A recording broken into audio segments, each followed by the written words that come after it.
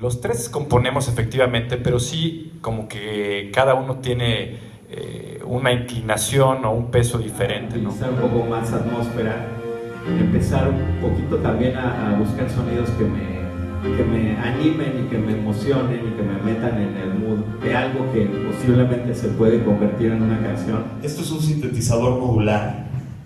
Así empieza básicamente la música electrónica, con un, con un sintetizador modular. De hecho, el primer sintetizador, y, es lo que a mí me gusta de la música electrónica, la historia que hay atrás, y eso es lo que me empuja a mí a componer música electrónica, el ruido electrónico.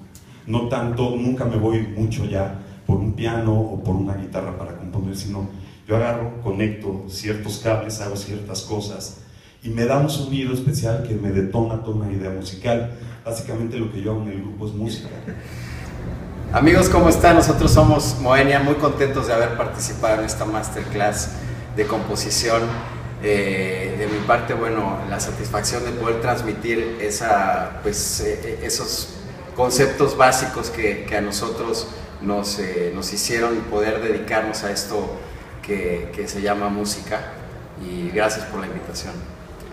Gracias, gracias a la Saquen por invitarnos a, a, esto, que la verdad es que es eh, una retroalimentación. Nosotros intentamos transmitir algo de lo que ha sido nuestra experiencia en el mundo de la música y específicamente en la composición, pero también oír las preguntas de los alumnos. Ha sido pues muy interesante ver qué, qué es lo que a ellos les inquieta, qué es lo que quieren saber, así que agradecemos esta, esta oportunidad.